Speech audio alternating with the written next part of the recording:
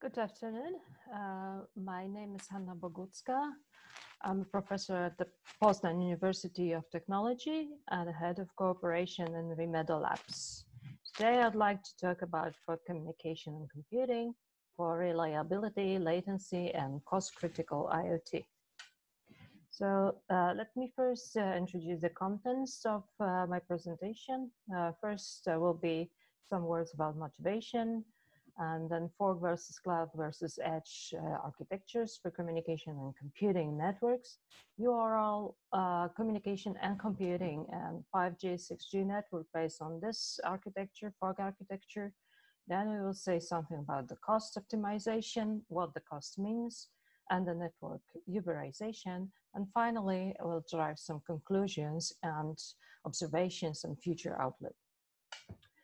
The, the, my motivation is uh, that uh, according to the recent uh, Ericsson Mobility Report, there will be uh, 24.6 billion machines and devices comprising Internet of Things by 2025. And communication and computing uh, are, are uh, ultra reliable, low latency communication and computing is one of the uh, key application areas in 5G and it will be a targeted application area in 6G. Uh, neither cloud or edge uh, computing architectures are suited for URLL uh, communi uh, communication and computing. And cost optimization in uh, communication and computing networks is also needed. Here we should uh, say something about uh, what what we mean by the cost. Uh, the cost in general um, always relates to the use of resources or assets, either financial or other. And in our case, uh, these will be communication and computing resources such as energy, bandwidth, infrastructure, and etc. we will, uh, uh, there is also an important trend of uh, network uberization, which uh, fog architecture also, architecture also addresses. The cloud is commonly understood as a server offering huge memory capacity for data storing, sharing, and analysis, a supercomputer uh, with optimized computing algorithms and these data processing, uh, a service uh, for end devices to IoT. The cloud ecosystem seems like very centralized. there are computing and storage tasks or, which are delegated to the cloud data center, requiring transmission to long distances.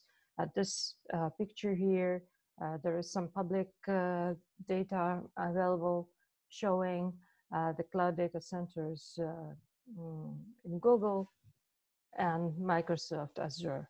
So they, these are uh, might be quite far from the end user, like thousands of kilometers away. On the other extreme approach uh, to the IoT communication and computing challenges uh, is the fully distributed uh, operation and organization called edge computing. And in this case, uh, network uh, networking is based on cooperation of network devices and computing uh, mm, resource sharing.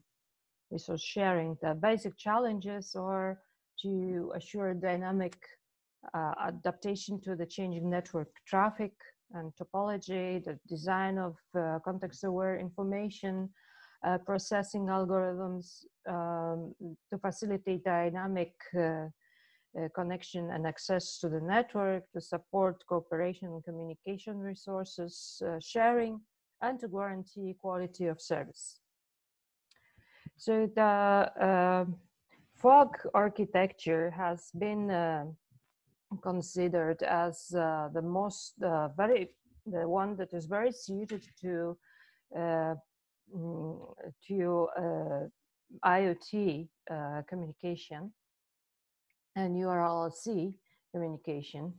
And it consists of uh, multiple tiers. There is a, a Things tier, which consists of edge devices, smartphones, vehicles, robots, personal computers, sensors, and so on.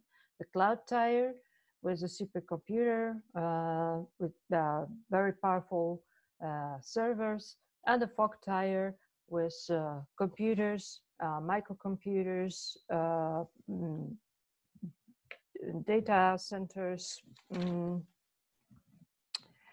mm, sorry, computer clusters, space stations, etc. So um,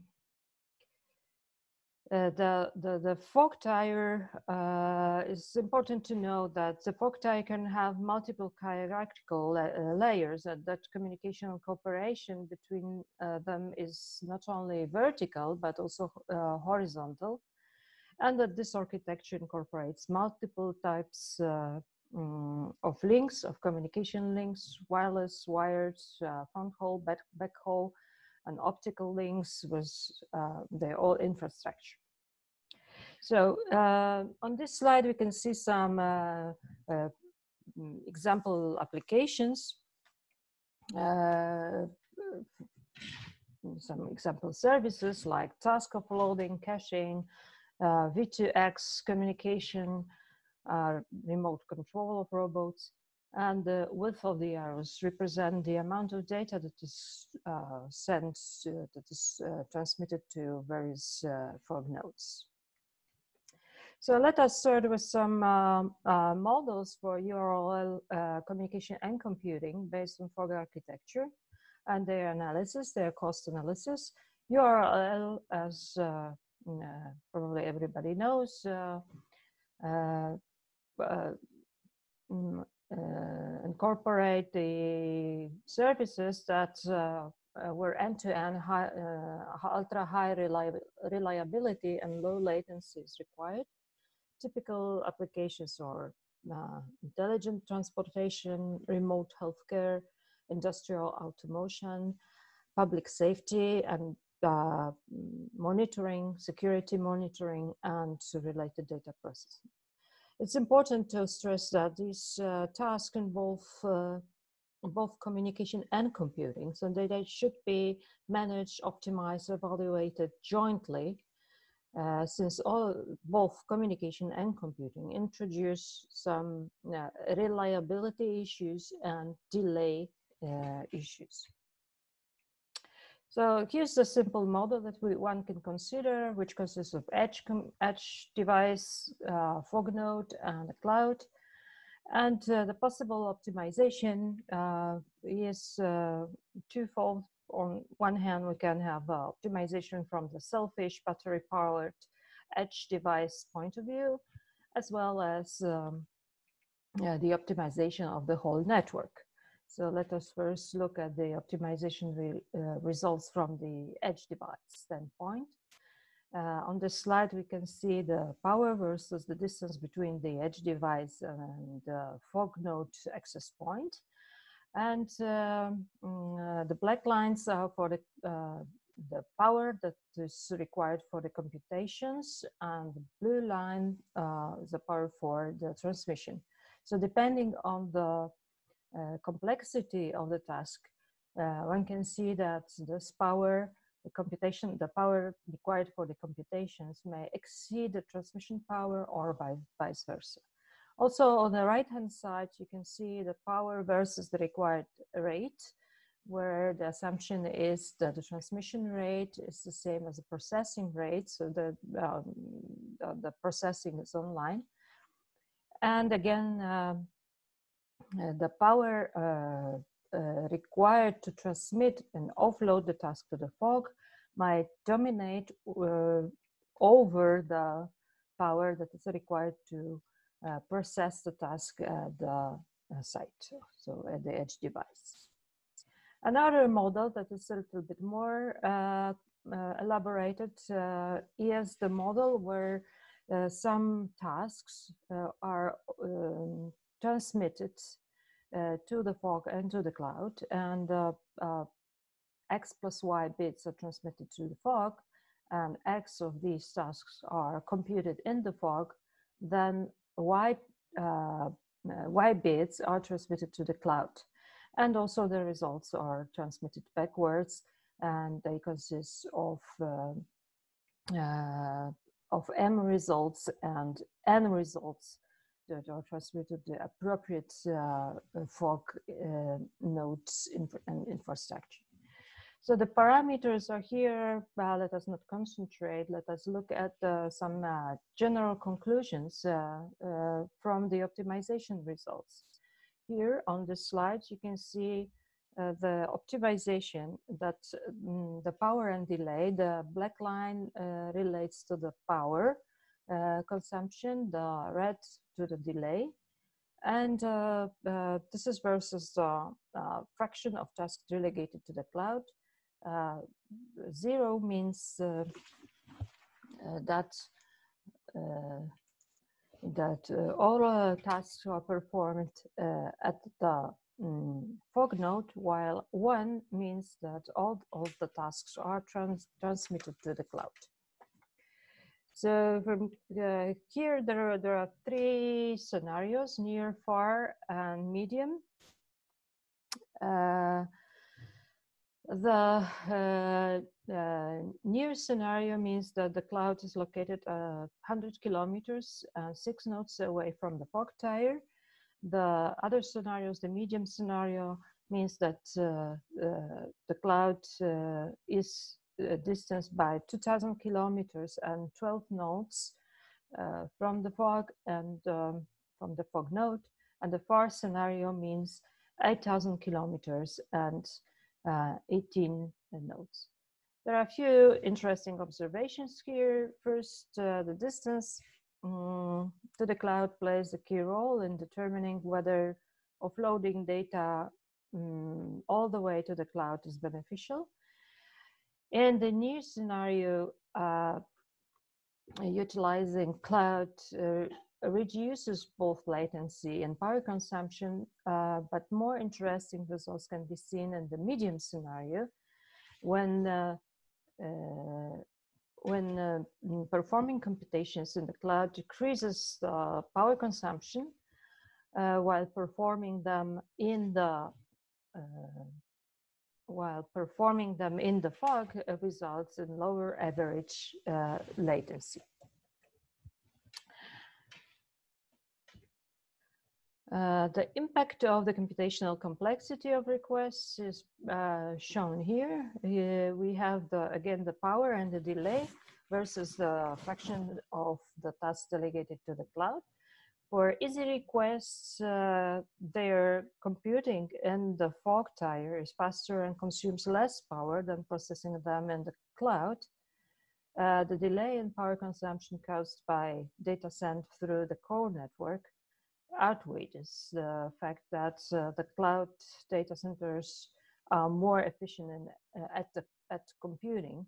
On the contrary, uh, when the offloaded requests require heavy computations, it is when when the we have the hard requests uh, uh, equal well where the requests require uh, a hundred flops per bit, uh, so uh, when when the offloaded requests require, require them the heavy computations, it is uh, beneficial to send these requests all the way to the cloud as hard requests mean lower com uh, lower uh, communication costs compared to the computation costs. Uh, so uh, let us now conclude. Uh, uh, there are the following observation. The computational complexity has a key role in deciding between the offloading uh, requests to the fog nodes and cloud data centers. Distance to the cloud has impact on efficiency of offloading. Uh, equipment characteristics has impact on the efficiency of the entire network. There exists trade-off between power consumption and delay and there is a need for detailed models of energy consumption for the joint communication and computing, wired, wired and wireless communication, and uh, control for energy cost optimization. Let me also uh, make uh, two remarks uh, on the future of the fog. So first, uh, uberization uh, has been noticed that telco are not the trusted brands as, as much as other. Uh, the global uh, brand indicators show that telco oligopoly is ready to be disrupted. So uh, since the fog nodes are capable of providing communication and computing resources and building cooperation, your reputation, this may lead to future network uberization. And finally, uh, has been noticed um, many documents for 6G perspective that artificial intelligence will play a major role. Is expected to reside in all tiers of the fog network and uh, mm, current uh, algorithms are suited for more or less stable situation in the network while uh, the diverse uh, and changing network traffic topology and computing will call for joint communication and computing improvement uh, in this more adaptive uh, machine learning algorithms. So thank you very much for watching and I will be happy to answer some questions. Thank you very much.